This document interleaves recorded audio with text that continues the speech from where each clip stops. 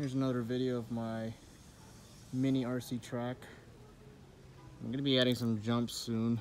Um, I'll just probably find some used um, skateboard or BMX ramps just to uh, find. I haven't driven the Traxxas Slash in a while, so I'm gonna go bring it out. If you're wondering how I made this track is I just used, um, I went to Home Depot, basically a hardware store, and got some uh, ropes and some garden staples so they can be held down. And where my Traxxas Slash um, two-wheel drive is at with the Ford F-150 Raptor body is at, that's where the start finish line is at. So how this works, it goes straight, turn one, then turn two, turn three, and then turn four, five, and six. You might not see it because, uh, like I said, it's it's just white, white uh, rope. So you probably may not see it from way a distance over there. But this is the best camera view of the whole track that you guys can see. And here we go.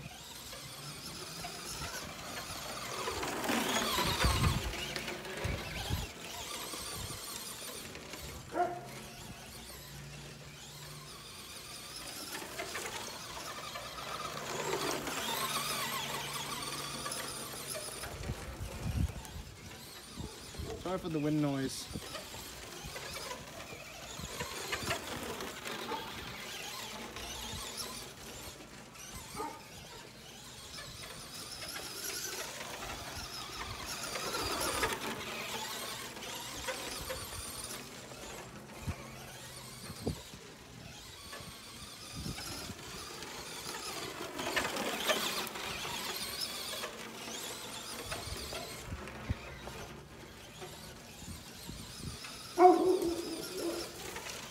Neighbor's dogs are barking too.